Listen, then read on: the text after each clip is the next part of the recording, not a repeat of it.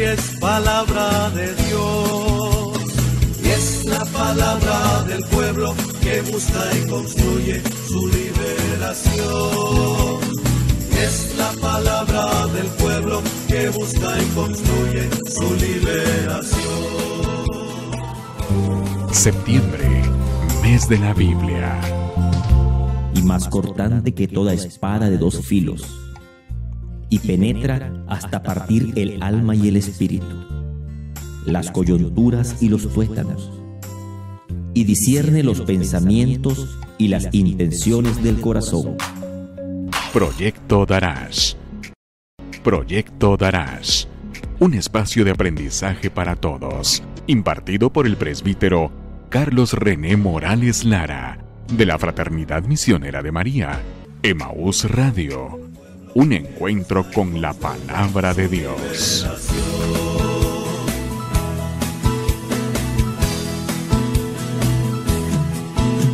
La Biblia es como nuestra cuma, con ella hay que chapodar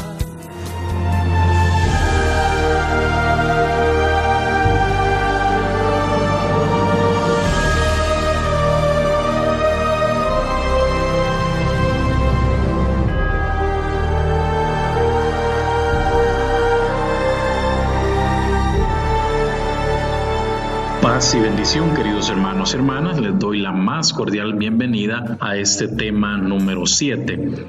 Les recuerdo los materiales para nuestro estudio, el manual del CEPAF, la Sagrada Escritura, de preferencia una de estudio, y su cuaderno de notas donde llevarán el registro de sus respuestas, de sus reflexiones, de sus dudas, de sus inquietudes.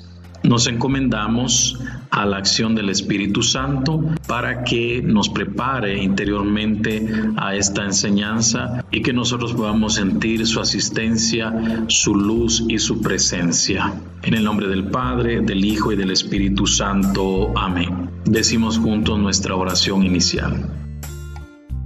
Ven Espíritu Santo, ilumina mi mente, abre mi corazón, toma mis manos para que comprenda el mensaje de la palabra, para que sienta la profundidad del amor divino, para que camine abriendo mis manos a los que necesitan curación y misericordia.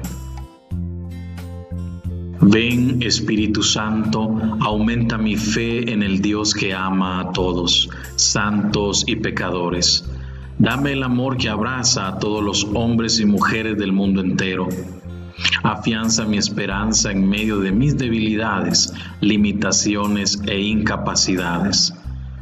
Ven Espíritu Santo, yo solo sé que no puedo hacer nada Acompáñame, guíame, llévame para que pueda llegar al abrazo del Padre, para que pueda seguir las palabras y enseñanzas del Hijo, para que pueda caminar con los demás con amor, fe y misericordia, con la fuerza, la luz y la ternura que vienen solo de Dios. Gloria al Padre, al Hijo y al Espíritu Santo, como era en el principio, ahora y siempre, por los siglos de los siglos. Amén. En el nombre del Padre, del Hijo y del Espíritu Santo. Amén. Siguiendo con el tema de la interpretación de la Sagrada Escritura, en este tema número 7 vamos a abordar los criterios teológicos de interpretación. ¿Se acuerdan? En el tema número 6 estudiamos los criterios literarios de interpretación. Ahora vamos a adentrarnos a este punto de los criterios teológicos de interpretación. Abrimos este tema con la citación de Dei Verbum numeral 12. Dice así.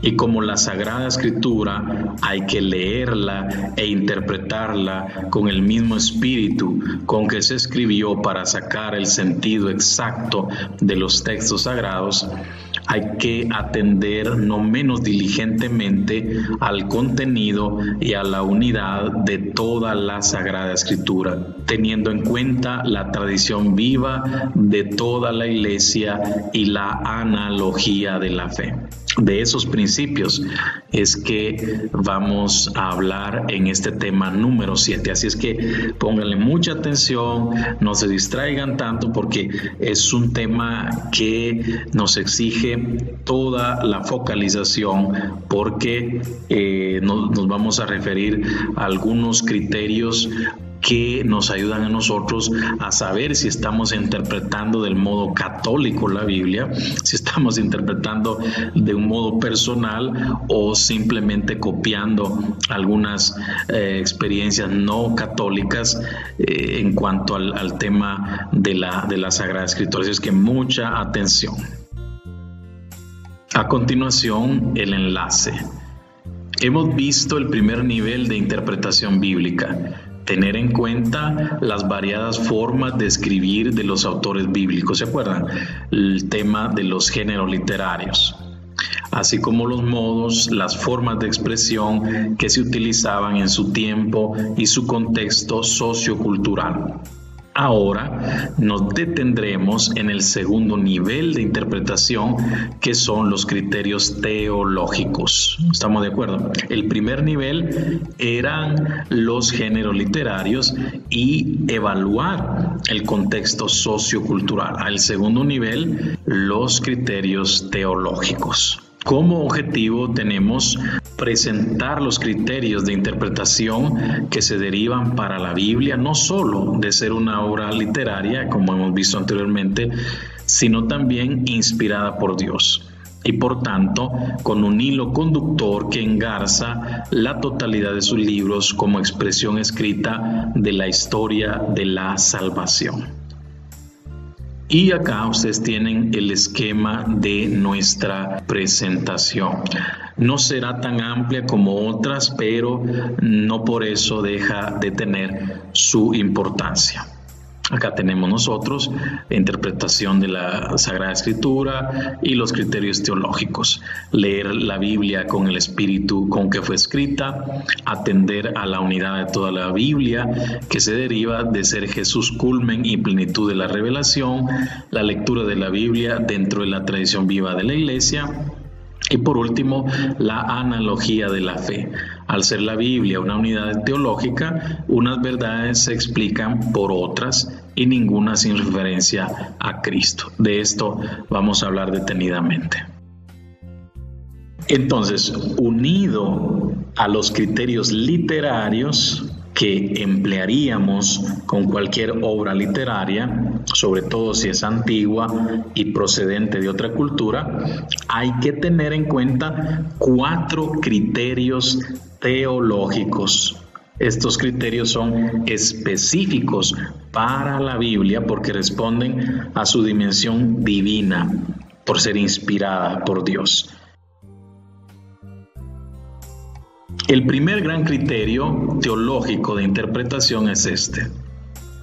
La Sagrada Escritura debe ser también leída e interpretada con el mismo espíritu con que fue escrita. Este, este es un ejercicio bien difícil de realizar porque nosotros queremos a veces manipulando, tergiversando el texto o forzando el texto, eh, queremos que nos diga lo que muchos quieren oír o queremos que como que fuera algo mágico nos revele todo lo que va a pasar o lo que tiene que acontecer. Pero un ejercicio que a veces hacemos muy poco es diríamos en lenguajes muy nuestros, meternos en los zapatos de quienes fueron protagonistas en el proceso de escritura. Yo les presento ahora algunos elementos que no están desde luego en el manual, pero yo considero muy necesarios para entender este delicado tema de la interpretación de la Biblia siguiendo algunos criterios teológicos. Y estos principios o directrices o normas fundamentales son dos, al menos que yo puedo distinguir. Las primeras son llamadas directrices racionales. ¿Qué quiere decir esto? Que son las que aplican para interpretar correctamente cualquier libro humano. Cualquier libro humano se le tienen que aplicar estas eh, operaciones para interpretar lo que quiere decir. Y en estas directrices racionales, el intérprete, nosotros como creyentes, debemos emplear los recursos que ponen a su alcance las ciencias humanas ha de actuar lo mismo que cuando se interpreta cualquier libro de la antigüedad. Entre esos recursos hay que señalar el estudio filológico del texto. ¿Eso qué significa? Que nosotros debemos conocer las lenguas originales de la Biblia y también las lenguas afines. Eh, en este caso estamos hablando de hebreo, de arameo. De hecho, yo estudié arameo con esta gramática, A Grammar of Biblical Aramaic de Franz Rosenthal, que es un libro base para estudiar arameo. Y este, ese sería como el primer ejercicio a nivel racional, entrar a las lenguas originales, no traducciones. Luego, conocimiento de los usos literarios de Oriente por ejemplo, el, modo en que emplean las metáforas y eso ya lo hablamos en el tema de los géneros literarios. ¿Por qué les digo esto? Porque no es lo mismo que ustedes lean una traducción a que lean el texto en la lengua en que fue escrito. Uno de los grandes retos que tenemos en la iglesia es hacer asequibles las lenguas bíblicas. Yo, por ejemplo, he dado algunos cursos libres de hebreo bíblico y sí, yo sé que algunos de, mis alumnos están siguiendo estas lecciones o exalumnos, ¿no? Porque esta situación de pandemia nos eh, lamentablemente hizo que ya no continuáramos el programa de hebreo bíblico. Pero en un momento, si yo veo que hay gente interesada o hermanos que quieran tener un acercamiento al menos al alfabeto, al alefato en hebreo, griego, arameo, pues ustedes incluso pueden indicarme si están interesados en que en algún momento estudien estas lenguas, que de verdad es fascinante entrar al sentido que tienen los conceptos, los términos en su lengua original. Y otro, otro punto importante en estas directrices racionales es algo de lo que se habla muy pero muy poco y es la crítica textual. Y es que la crítica textual tiene por objeto restablecer el texto primitivo que se supone alterado.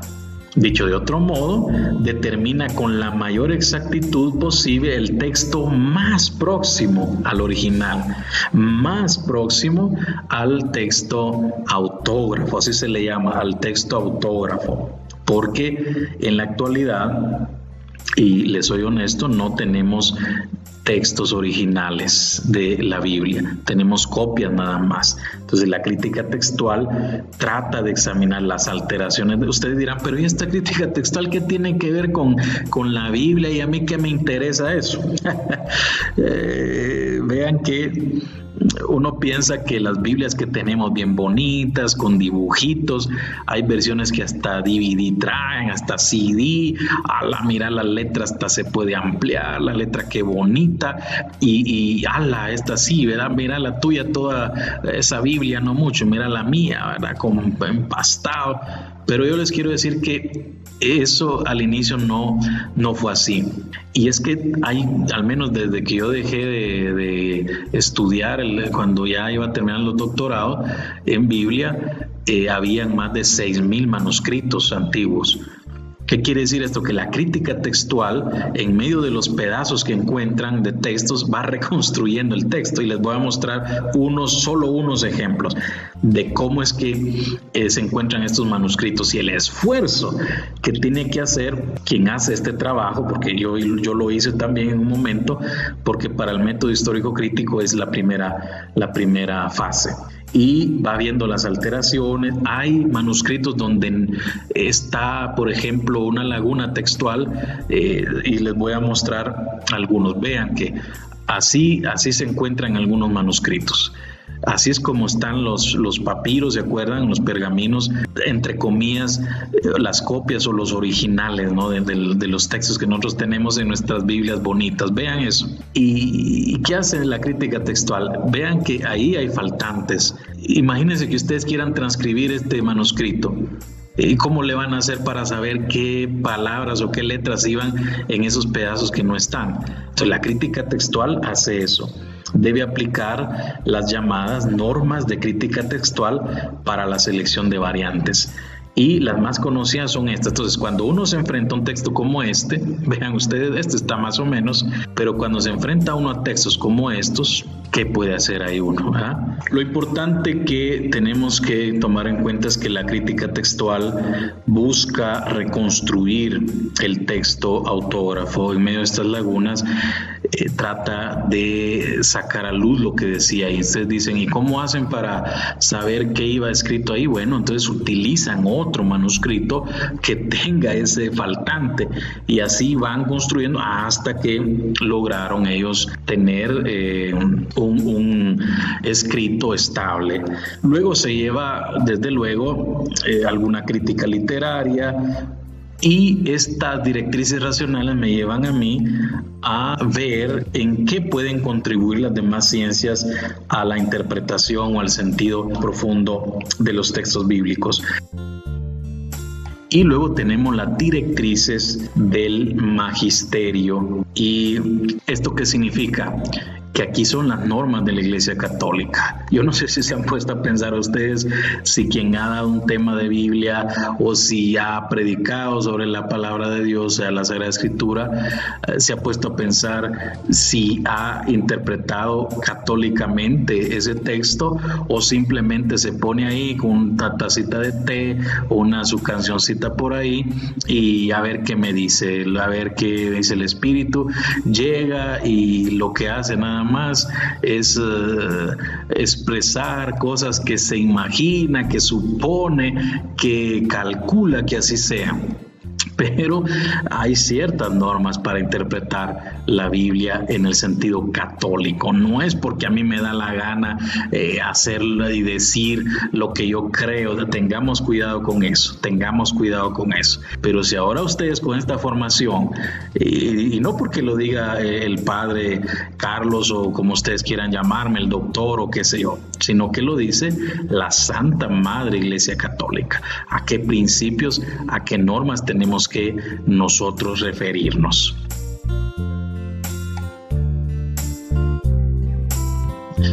Así que tengamos cuidado con ese estilo sutil y a veces persuasivo de interpretar la Biblia, pero no siguiendo las normas de la Iglesia Católica. Eso lo puede hacer alguien que no es católico, pero dentro de nuestra iglesia no puede ser así.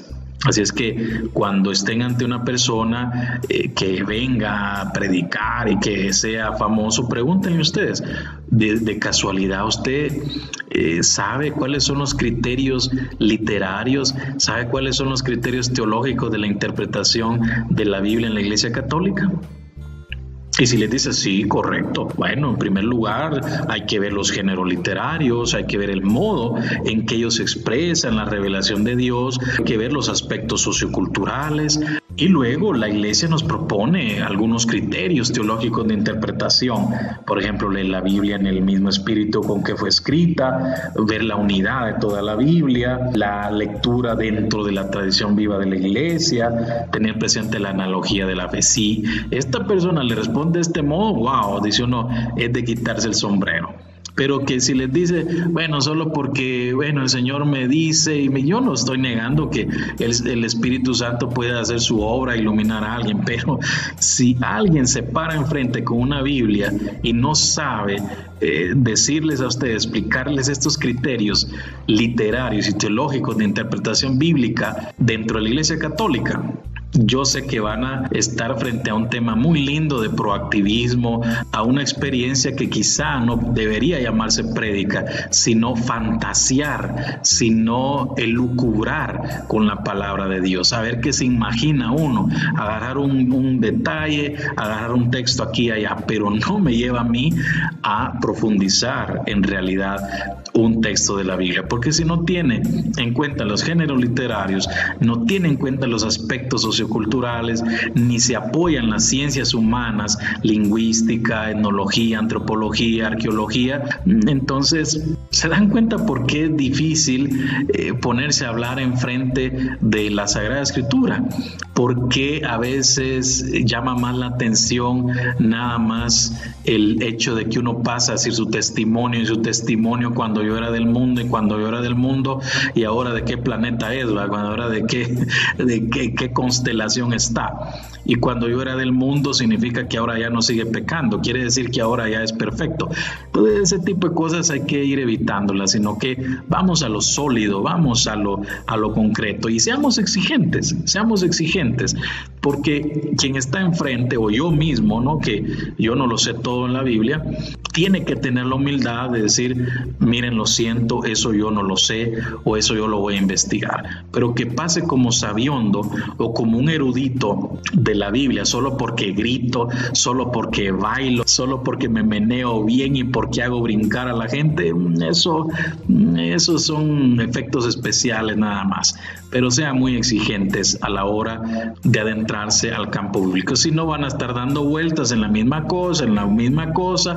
¿Y usted qué piensa, hermanito? ¿Usted qué piensa? No. Quien se ponga al frente a hablar de la Sagrada Escritura tiene que formar, no solamente informar cosas que yo en internet las puedo encontrar, sino que forme, que yo vea en la persona que está al frente que ha estudiado, que se ha sentado, que ha podido él confrontar varias fuentes. ¿Ustedes creen que lo que yo les estoy acá es porque yo me puse ahí a Google y a bajar cosas y porque ayer me puse a preparar esto? No, no, no.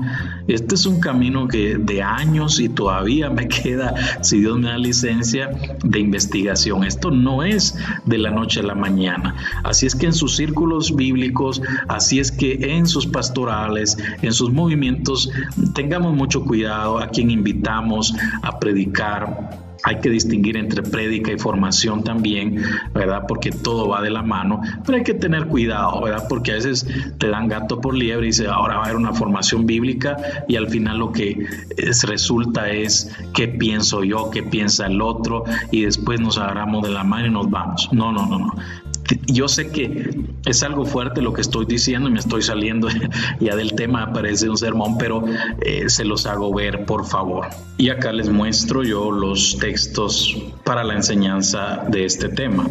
Siguiendo con lo que el manual nos presenta, ahora hablamos del segundo criterio teológico de interpretación y es la unidad de toda la escritura, una sola historia de salvación. Si el primer criterio era notar esta combinación o conjunción de lo divino y lo humano, que no podemos hacer una lectura basada solo en criterios literarios, sino que tenemos que leerla con el mismo espíritu con el que fue escrita. Ahora se plantea este tema de la unidad de toda la escritura. No sé si vamos comprendiendo. Primero es interpretar, leer la Biblia con el mismo espíritu, con ese espíritu de Dios que inspiró a los agiógrafos, adentrarnos a esa experiencia que hicieron los escritores sagrados y no solamente forzar el texto, no solamente manipularlo para que yo siglos y siglos después le diga a la Biblia que tiene que decir, no, sino a la luz de la inspiración, yo tengo que captar, tengo que contemplar lo que la Biblia me está diciendo a mí, no lo que yo quiero que la Biblia diga. Sabemos que Biblia, la palabra Biblia en castellano, es una palabra singular femenina. Decimos la Biblia en singular. Pero en griego es un plural neutro. En griego ta biblia quiere decir los libros, no es singular. Y la composición de la Biblia, Antiguo y Nuevo Testamento, tal como hoy la tenemos, duró alrededor de 12 siglos. Contiene muchos libros muy diferentes y de diversas épocas y distintos personajes pero siendo Jesucristo el culmen y la plenitud de la revelación, da a toda la Sagrada Escritura una unidad en la que el Antiguo Testamento aparece como promesa y el Nuevo como realización de un único plan salvador de Dios. En otras palabras, diríamos que tenemos el Nuevo Testamento o Nueva Alianza Aquí tienen ustedes un papiro, el, el Codex Vaticanus. Tenemos el Antiguo Testamento o Antigua Alianza. Lo hago de derecha a izquierda para respetar el orden que tienen en el mundo judío de derecha a izquierda. Y vean que lo que nos está diciendo este segundo criterio es que la Biblia es un todo compacto es un todo completo, es un bloque. No podemos nosotros simplemente preferir una cosa, sacar otra cosa, porque eso después lo vamos a ver, se va a llamar hacer un canon dentro del canon, que es muy típico de las iglesias no católicas, porque aceptan unas cosas, eliminan otras, por lo regular, para no comulgar con la teología católica de nuestra iglesia y entonces están negando una parte de la escritura y eso no es posible. En la escritura hay una unidad entre Nuevo Testamento y Antiguo Testamento. Y en el seno de la Virgen María es ahí donde confluye todo. Ahí es donde se da este encuentro entre promesa y cumplimiento.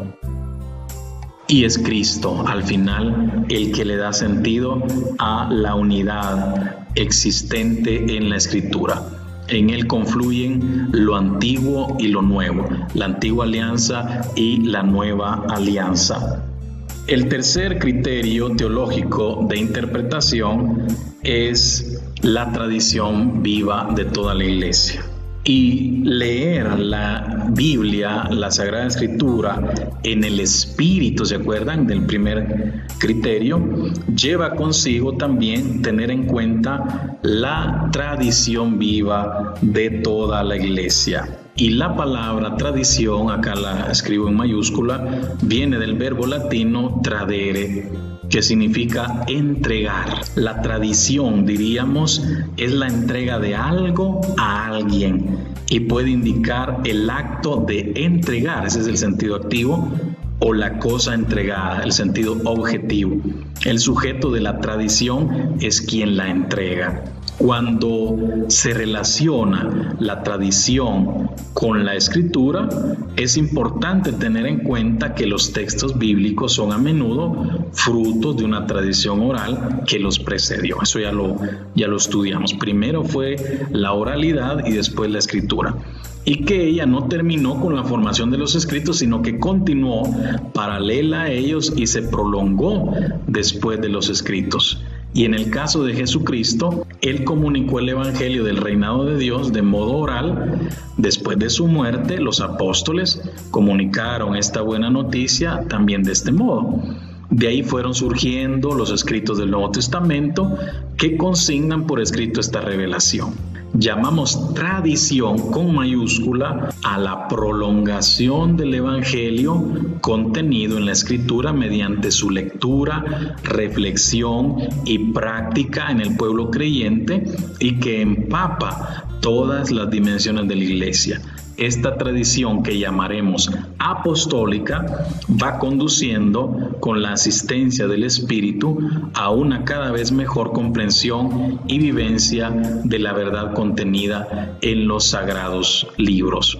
Por eso es que ahí pueden ustedes eh, muy bien confrontar con Dei Verbum 7 y 8. Cuando yo hable de tradición con T mayúscula, me refiero a la tradición apostólica, no de las tradiciones eclesiásticas. Estas tradiciones van con T minúscula. Al interior de la tradición es importante el rol que compete al magisterio eclesiástico, que es el de conservar y transmitir la palabra de Dios de modo oficial y normativo. Tradición con minúscula en niveles que son distintos y que van desde la definición de un dogma de fe hasta una enseñanza que pretende orientar al pueblo de Dios en una coyuntura muy precisa y de tipo local. Al magisterio se vincula la sucesión apostólica, cuya función es asegurar la fidelidad en la comprensión y vivencia de la fe al mensaje de Jesús mediante una transmisión de ellas ininterrumpida que va de los apóstoles a los actuales jerarcas, el Papa y los obispos.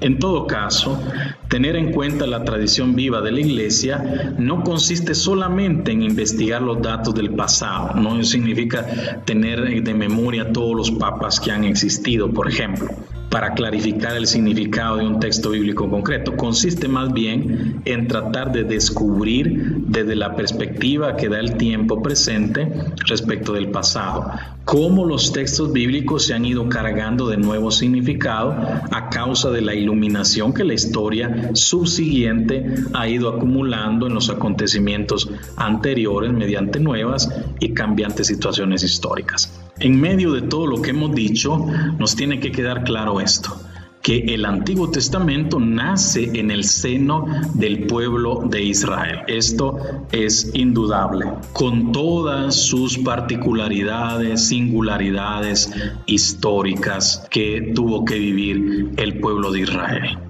Y el Nuevo Testamento nace en el seno de la Iglesia Católica. Que nos quede bien claro esto el Nuevo Testamento nace en el seno de la Iglesia Católica.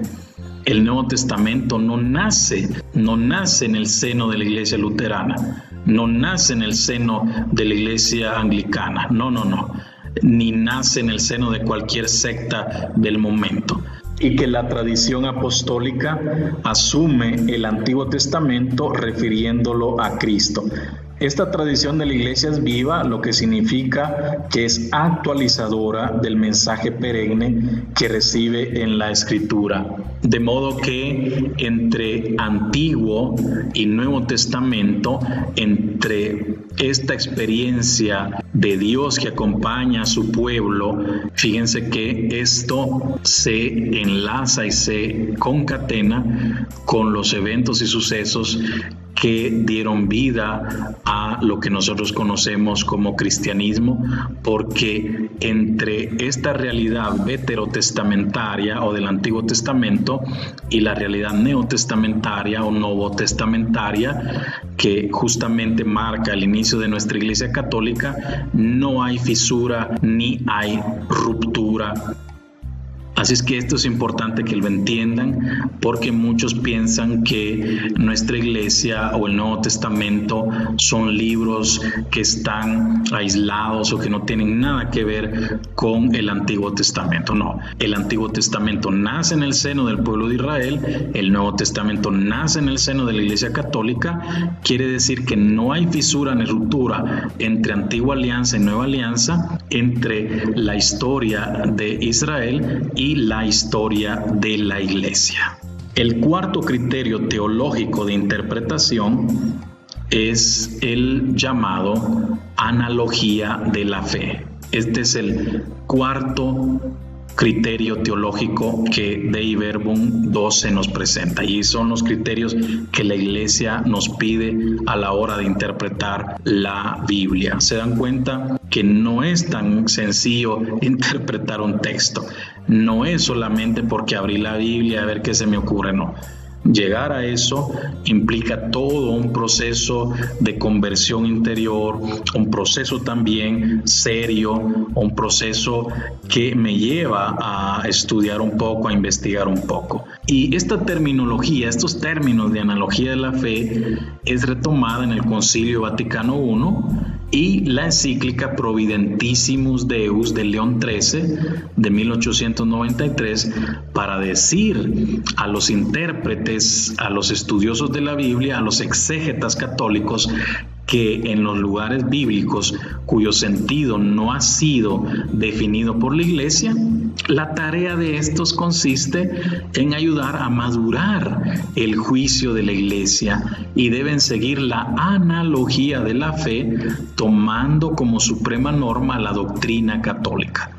Vean que es una invitación que el Papa León XIII le hace a los estudiosos, a quienes se dedican a la interpretación de la Biblia, que lo hagan desde la analogía de la fe y tomando como suprema norma la doctrina católica. La razón de tal orientación, prosigue la encíclica, es que Dios es autor de la escritura y de la doctrina de la iglesia, por lo que no puede haber contradicción entre Sagrada Escritura y doctrina de la iglesia. Esto es lo que dice Providentísimos Deus. Se trata en síntesis de que el intérprete, el exégeta, debe someterse a ese conjunto de verdades de fe que constituyen dogmas y que están sintetizados en el credo. La escritura y la doctrina de la iglesia son consideradas un depósito de verdades que no pueden estar en contradicción entre sí. Yo sé que es un criterio teológico muy, muy difícil de explicar con palabras sencillas. Y el manual en ese sentido nos ayuda mucho porque dice, ¿qué significa esto de analogía de la fe? Que precisamente por ser la Biblia teológicamente una unidad, unas verdades se explican por las otras. Si se consideran aisladas, pueden ser verdades incompletas o todavía no suficientemente maduras, porque la revelación de Dios fue progresiva. Y de ahí la importancia de la unidad de ambos testamentos. Si el Antiguo Testamento dice el hombre perece como los animales, nos está transmitiendo una percepción de la realidad del ser hombre que progresivamente fue aclarándose hasta llegar al ser resucitado con Cristo del Nuevo Testamento. Por eso no se vale tratar la Biblia como una colección de frases sueltas. A eso se refiere la analogía de la fe fuera de contexto y al margen de la unidad final en la que quedaron definitivamente incluidas. De esa unidad reciben su sentido. Fuera de esa unidad nos equivocan y nos confunden. A este tipo de lectura se le llama lectura canónica por tener en cuenta el conjunto de los libros canónicos normativos, que será punto de reflexión del tema 9. Así es que espero que les hayan quedado claros estos cuatro criterios teológicos de interpretación de la, de la Biblia y que especialmente todo aquel que se dedica al estudio, aquel que se dedica a la interpretación, tiene que tomarlos en cuenta. O sea, leer la Biblia con el espíritu con que fue escrita, uno, Dos, atender a la unidad de toda la Biblia que se deriva de ser Jesús culmen y plenitud de las revelaciones. Tres, la lectura de la Biblia dentro de la tradición viva de la iglesia, porque dijimos que el antiguo nace en el pueblo de Israel y el nuevo en la vida de la iglesia católica. Y cuatro, la analogía de la fe. Al ser la Biblia una unidad teológica, unas verdades se explican por otras y ninguna sin referencia a Cristo. Incluso el manual en una cita a pie de página, en la página 54, da el concepto que la RAE, la Real Academia Española, hace del, del término analogía y dice relación de semejanzas entre cosas distintas. Así es que yo les motivo a que continuemos y nos encontremos en el siguiente tema que va a ser muy interesante porque hasta el momento mucha teoría, mucha teoría, muchos conceptos y uno dice, ay Dios mío, ¿por qué me metí a esto? ¿verdad? Pero el siguiente tema, se los adelanto para que no se me vayan a desesperar, el siguiente tema es para no perderse en el manejo de la Biblia. El tema 8 lo vamos a dedicar a cómo manejar la Biblia de cero. Vamos a practicar cómo manejar la Biblia. Así es que espero que no se pierdan ese tema 8 que va a ser más práctico. porque ahí sí va a servir la versión que tengan. Eh, espero que, que tengan por lo menos la Jerusalén o que tengan, qué sé yo, Nácar Colunga o la Biblia del Peregrino, qué sé yo, la, la que sea la que sea. Si tienen dos o tres, ténganlas ahí, por, por favor. La próxima lección, que nadie, que nadie, por favor, se quede sin tener su Biblia, sin tener su Biblia eh, frente a ustedes o a un lado. Eh, claro, hay versiones electrónicas y es válido, pues porque estamos en la era digital, pero yo sí sería la idea de que eh, intentemos con una Biblia eh, así física, con una Biblia normal, ¿no? de papel, etcétera, ¿no? Así es que en sencillas palabras, esta analogía de la fe significa leer el Nuevo a la luz del Antiguo Testamento. Finalmente, les presento las actividades tanto individuales como grupales que corresponden a este tema. Primero, en las actividades individuales, en tu cuaderno de notas resume los cuatro criterios teológicos de interpretación de la Biblia. En tu cuaderno de notas resume los cuatro criterios teológicos de interpretación de la Biblia. Número dos, explica qué comprendes por tradición viva de la iglesia ya el hecho de que esté en mayúscula ya les dice un montón de cosas. ¿verdad? ¿Qué diferencia hay entre tradición con mayúscula y qué diferencia hay entre tradición con minúscula o tradiciones? Ahí ustedes expliquen qué comprenden por tradición viva de la iglesia. Tres, busca el contexto de las siguientes citas. Primero ustedes van a ir a sus Biblias, van a buscar Mateo 15, 26, luego Marcos 10, 23 y luego Lucas 5. ¿Qué van a escribir ustedes? Ese versículo que acá se les presenta, van a escribir ustedes qué es lo que hay alrededor de ese texto. Por ejemplo, este texto de Mateo 15, 26, yo voy a ir a ver en qué unidad literaria, en qué relato o en qué sección se encuentra este texto y así Marcos 10, 23, eh, Lucas 12, 5. Por ejemplo, si yo les digo Lucas 4, 4, 5, 4, 6 eh, ¿Cuál es su contexto? Bueno, el contexto, yo voy a la Biblia y ¿qué, qué, hay aquí no? en, este, eh, en este capítulo? Entonces yo digo, no, no es, no es el, inicio, tampoco el bautismo, no es la genealogía. Ah, bueno, entonces el contexto, esto es las llamadas tentaciones o las pruebas mesiánicas de Jesús. Entonces así ustedes van a escribir qué, a, a qué sección literaria o a qué unidad literaria pertenecen estos versículos. En las actividades grupales, buscar algunos ejemplos de analogía de la fe, es decir, alguna verdad expresada en el Antiguo Testamento que el Nuevo Testamento explique, complete o corrija van a buscar algunos ejemplos de algunas situaciones que solo pueden entenderse a la luz del Nuevo Testamento. Como por ejemplo, cuando Jesús a veces tiene controversias con los fariseos o con los escribas sobre las leyes de la eh, pureza, etcétera. ¿Se acuerdan cuando el Señor dice eh, el, el Hijo del Hombre también es Señor del sábado? ¿verdad? Entonces, ahí qué pasa? Que él en una, en una manera muy original, ¿qué hace?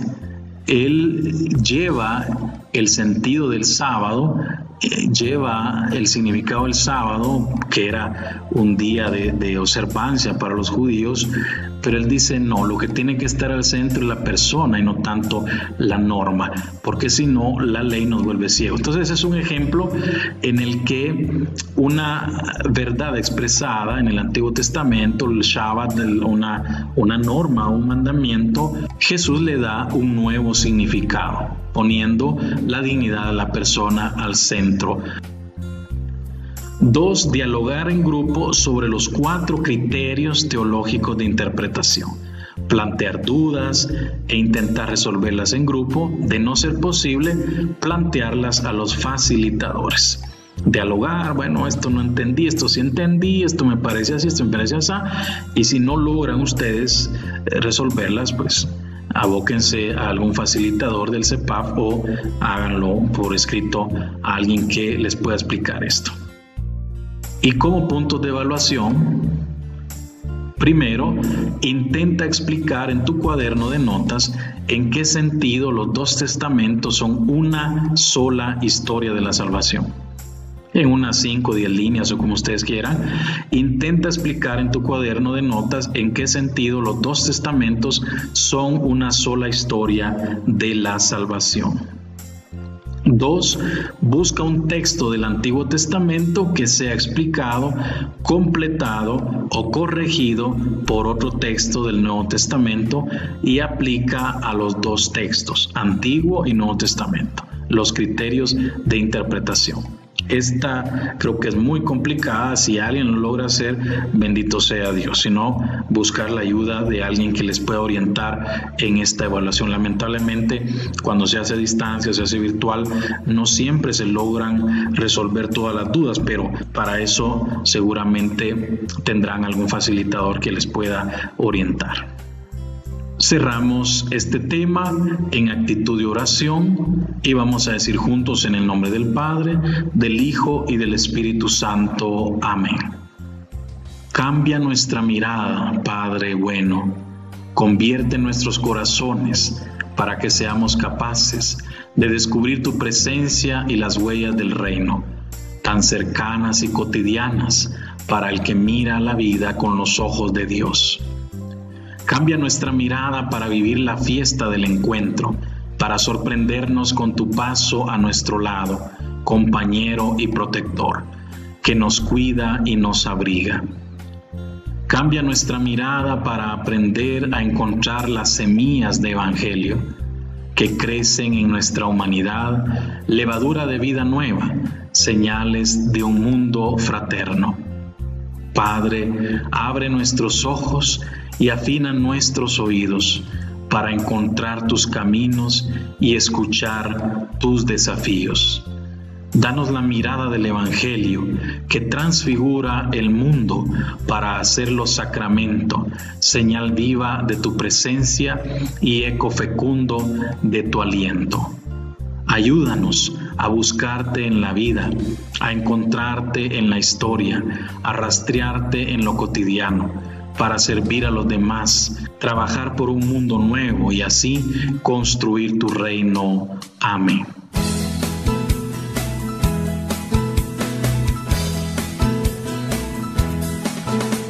La Biblia es palabra de vida, la Biblia es palabra de Dios y es la palabra del pueblo que busca y construye su liberación la palabra del pueblo que busca y construye su liberación.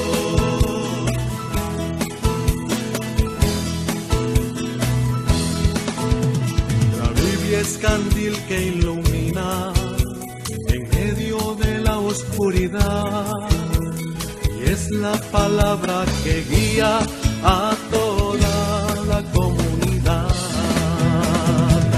es palabra de la Biblia es palabra de Dios y es la palabra del pueblo que busca y construye su liberación. Es la palabra del pueblo que busca y construye su liberación.